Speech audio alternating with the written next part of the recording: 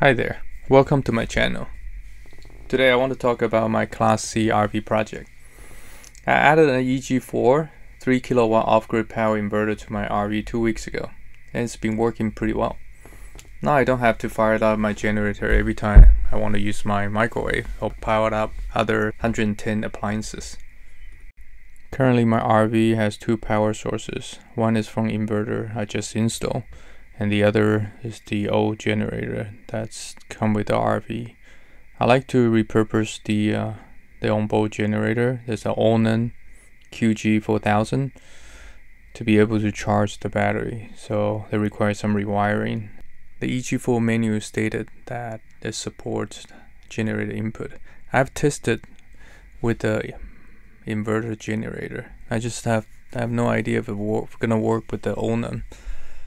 Well, let me show you how I rewire the generator so we can test this thing now, see if uh, EG4 uh, 3000 model work with the Onan generator. What you're looking at right now is the controller inside the RV. The orange wires are from the generator and the gray wire goes to the outside. I'm just going to temporarily rewire this to prove that it works before I permanently wire this up. So the goal of this project is to rewire the generator. So the inverter can be powered by shore power and generator power with the automatic transfer switch. Alright, now you see the gray wire coming under the floor and I, I basically just uh, connect to a plug and connect back to the RV shore power. And that shore power is rewire already rewired connect to the um, the inverter to that metal box inside that metal box. So once I power up the generator it should power up the inverter and to charge the battery. Today I just want to prove the Onan generator works with the EG4 inverter.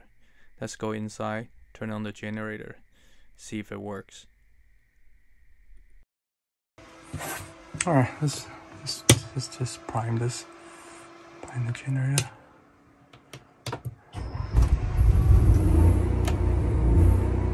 Okay, now the generator started. Let's, let's go outside.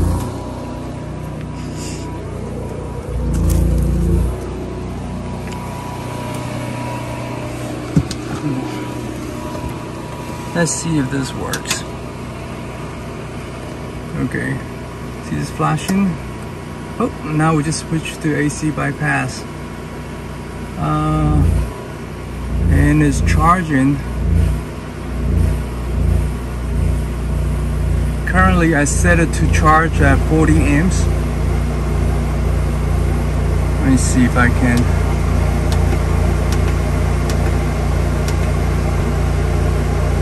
Here's the battery, 40 amps. So it's charging at 40 amps with no issue. Let's go inside the RV.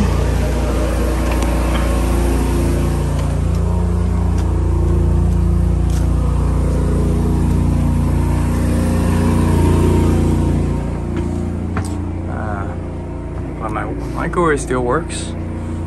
Let's see if I can turn on the AC. I don't know. Maybe pushing it uh, what is it? So right now we're charging at 40 amps so that's a that is 2000 watt. Okay?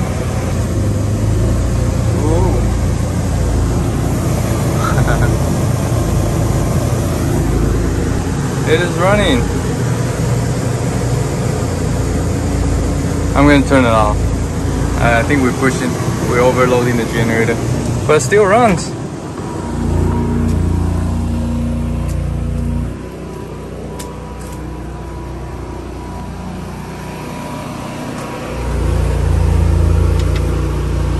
okay. Still works. See if it's still charging.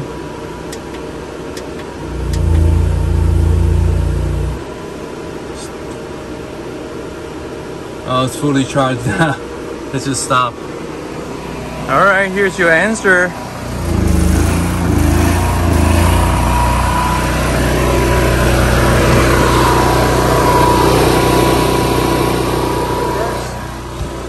Thing I forgot.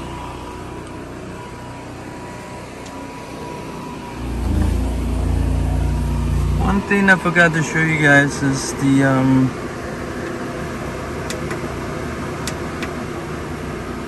you have to set this program number three to generator. There's other options like appliance, UPS, and generator. I can show you probably if I switch to. I'm sorry, it's kind of cramped here. I'm gonna switch to other mode. Say appliance mode. Did you see that?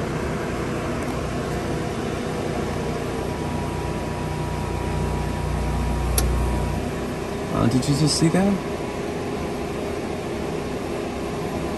It shut off the bypass mode. Going back to initialize again.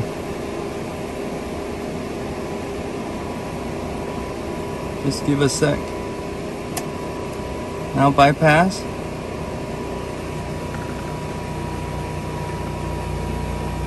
And charging and get disconnect. So you have to make sure that you set this to generator mode in order for this to work properly. Alright. You see, I just switch on the bypass and it's charging the battery.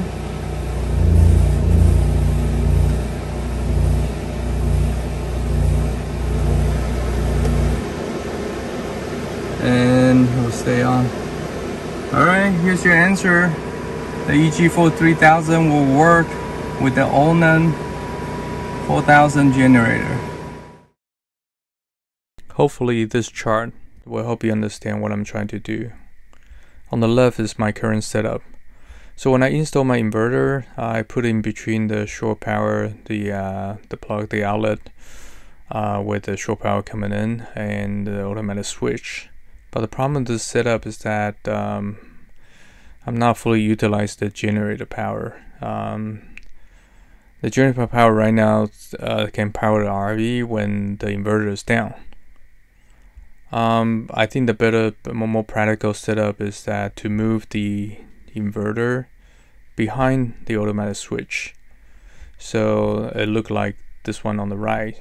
So um, so whenever uh, the inverter need to charge, you can either charge from the shore power or it can be charged by the generator in case it needed because you know the solar is never reliable if you have cloudy day and um, your batteries just run low and just don't have a way to charge um, then you can just power up the generator if it needed. Since it's 4,000 uh, 4,000 watt, it should be. Uh, I only have a five kilowatt battery in my RV, which is I personally I think is plenty for my need, and the four kilowatt generator should be able to um, you know fully charge from zero to um, 100% in less than two hours. Uh, I think this design is more practical and can fully utilize the generator. Alright, that's all. Thank you for watching. Bye.